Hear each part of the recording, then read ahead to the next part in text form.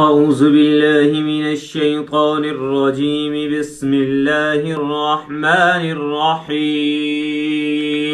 بکھرے موتی صفحہ دو سو تیئیس.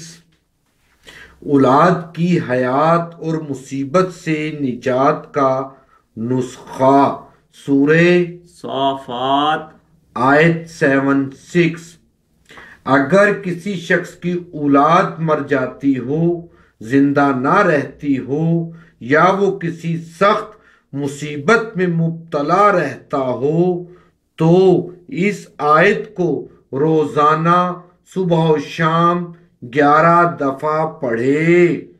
بسم الله الرحمن الرحيم شروع کرتا ہوں اللہ کے نام سے جو بڑا مہربان اور رحم کرنے والا ہے۔ ونجيناه وأهله من الكرب العظيم. اور نجات دی ہم نے اسے اور اس کے گھر والوں کو بلائے عظیم سے۔ ونجيناه وأهله من الكرب العظيم.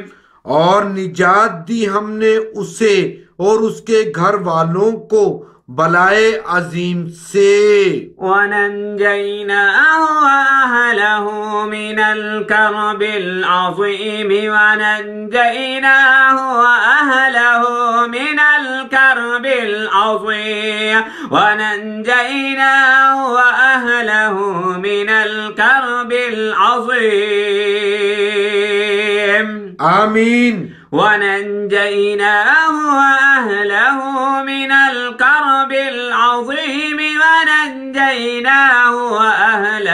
من الكرب العظيم. آمین ونجيناه وأهله من الكرب العظيم. ونجيناه وأهله من الكرب العظيم. آمین ونجيناه وأهله من الكرب العظيم. ونجيناه وأهله من الكرب العظيم. آمین ونجيناه وأهله من الكرب العظيم. ونجيناه وأهله من الكرب العظيم.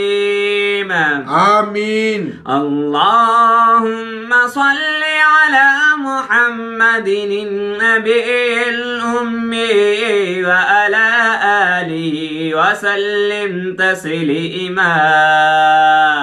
آمین اللهم إني أسألك علما نافعا ورزقا طيبا وعملا متقبلا. آمین اللهم اكفني بحلالك عن حرامك وأغننا بفضلك عمن سواك. آمین اللهم ذكرك وشكرك وحسن عبادتك آمین. يا أليم يا حليم يا ألي يا عظيم یا اللہ ہمارے صغیرہ کبیرہ تمام گناہ معاف فرما. آمین. یا اللہ عاطف واصف کاشف عمران اور عبد المہیمن اور ہمارے اہل خانہ اور اولاد کو اور ہمارے متعلقین اور متعلقات کو آسان رزق عطا فرما۔ آمین۔ اور تمام دنیاوی مشکلات میں ان کی مدد فرما۔ آمین۔ اور شیطان مردود کے شر سے انہیں محفوظ فرما۔ آمین۔ اور سرات مستقیم پر چلنے کی توفیق عطا فرما۔ آمین۔ ملک پاکستان کی حفاظت فرما۔ آمین۔ صلی اللہ تعالی علی رسول لخير خلق محمد وعلى آله وأصحابه أجمعين آمین۔ جزاک اللہ۔ سترہ تین سن دو ہزار اٹھارہ۔